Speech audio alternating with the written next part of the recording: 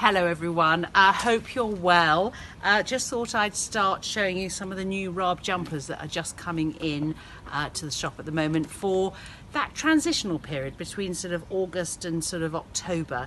Uh, these are beautiful, they're very lightweight to wear, so ideal for this temperature.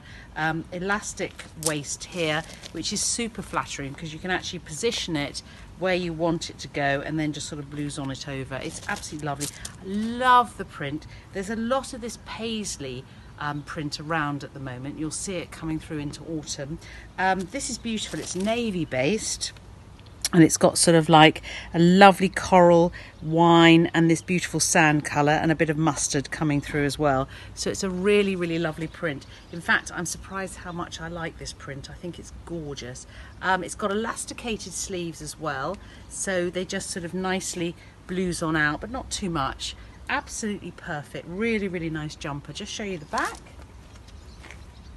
show you the front and it's about 20 degrees at the moment and this is absolutely perfect. So as I say a great little top from Rabe I know you all love your Rabe so this is really really lovely knitwear. I've just teamed it up with Olsen jeans. Um, these are the ones I'm really loving at the moment. They're called Mona Mona Slim and I love them because of this sort of little snake print on the cuff as well. So really really lovely. And I've just made it look super casual just team it up with my Ash trainers.